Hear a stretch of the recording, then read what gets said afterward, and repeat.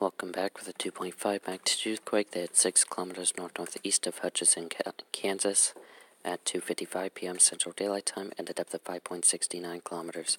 If you felt this earthquake, let me know comment section below from where. And with that, that's it. See you in the next video. Bye.